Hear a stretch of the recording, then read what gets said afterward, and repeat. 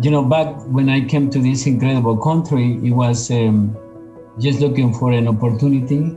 So life is like a box of chocolate, right? Mm-hmm. So becoming a chef, you know, it was those kind of things they lay on my lap, and um, you know, I can now feel pretty comfortable to say that I never look back. I was just a decent student. Um, back in those days, I I don't know you remember this well, but um, I took some tests uh, to graduate orally because I was not able to to write English. You know, my heads up to the faculty for letting me, you know, do that at that point in time.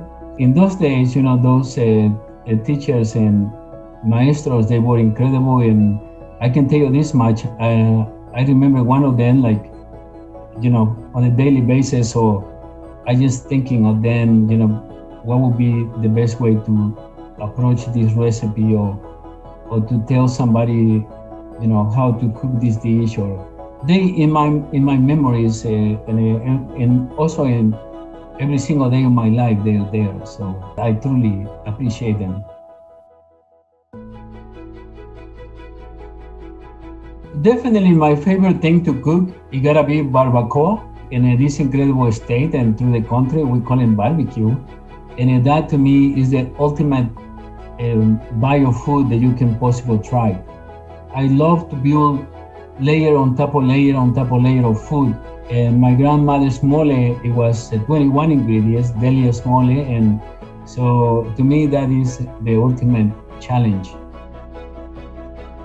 both my daughter Sophia and I uh, wanted to do something special for Hugo. We felt like he grown himself so much, uh, and HCC was a big part of that. So we wanted to recognize that connection and do something special uh, in Hugo's honor